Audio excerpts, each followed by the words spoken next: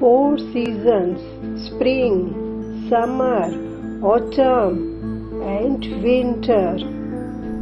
Spring season start in the month of February to March.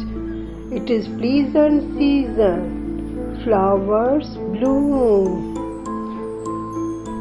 Summer season. It is the hottest season.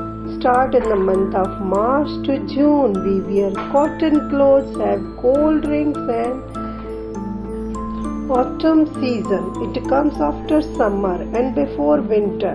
It is also known as fall season. It starts in the month of October to November. Leaves and trees turn orange and red. Days are small and foggy. Winter season. It is the coldest season. It is the season of fruits and vegetables. To start in the December and ends in February. People wear woolen clothes.